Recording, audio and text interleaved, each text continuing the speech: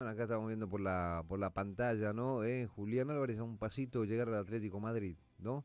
El campeón del mundo, eh, bueno, eh, qué sé yo, eh, por allí me parece que algunas declaraciones que hizo no cayeron bien, sobre todo en el Pep Guardiola, ¿cierto? Me parece que el Pep le bajó el pulgar, ¿no? Sí. Más allá de, de la buena relación que tenían, pero bueno, Julián pedía más minutos en partidos importantes, ¿eh? en partidos decisivos, eh, lógicamente lo tiene por delante a, eh, al, al animal del gol como Haaland, Ese ¿cierto? es el tema, bueno, aparentemente hizo algún, ese tipo de declaraciones, no cayeron bien allí en el cuerpo técnico, encabezado por el Pep Guardiola, que eh, automáticamente como que le bajó el pulgar y bueno, Julián Álvarez eh, a un pasito de llegar al Atlético de Madrid conducido por el Cholo Simeone, ¿no? Una transferencia que seguramente eh, tendrá muchos millones en danza, ¿cierto? Millones de euros. Sí, ¿eh? vos sabés que también se estaba hablando de que, que querían un trueque Ajá. por Joao Félix, pero Sí. me parece que esto no va a ser así. Lo van a comprar, parece, a, a Julián Álvarez,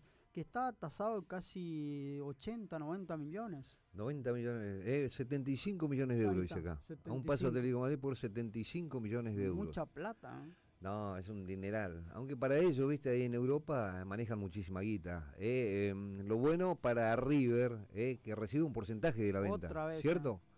Eh, esa es la buena, eh, la buena para, para River que estará ¿no? mirando con mucho interés, ¿no?